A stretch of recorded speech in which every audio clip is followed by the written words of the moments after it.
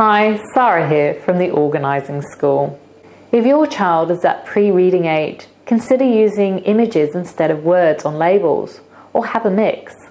By using pictures of their toys, it will help them identify where to put things back. Don't delay, start today.